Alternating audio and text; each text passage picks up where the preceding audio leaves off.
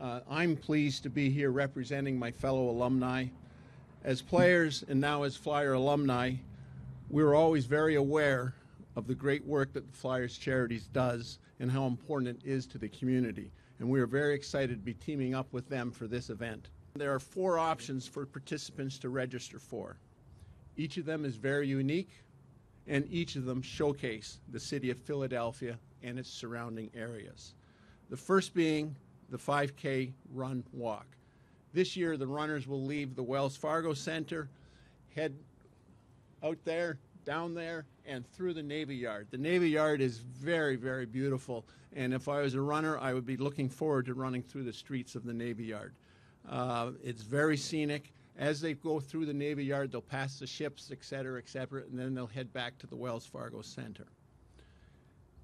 As an avid cyclist, I cannot begin to tell you how excited I am to be announcing this part of the Flyers Charity Classic.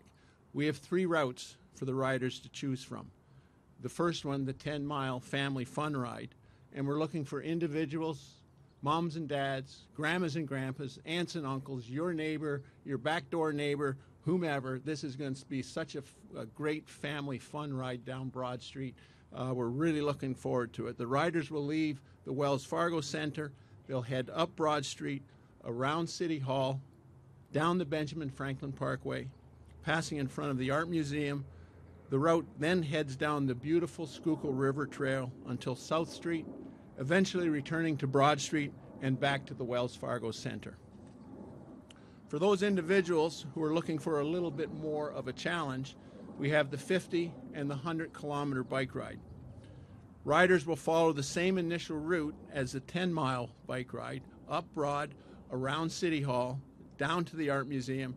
Riders will then head out Martin Luther King Drive into Fairmount Park, passing the Mann Music Center and Please Touch Museum, through Bala Cynwyd and into uh, Gladwyne.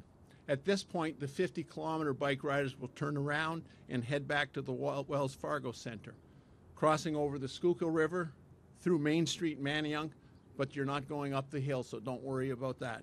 Uh, crossing the river again and returning via Martin Luther King Drive, the Schuylkill River Trail, South Street, and finally Broad Street.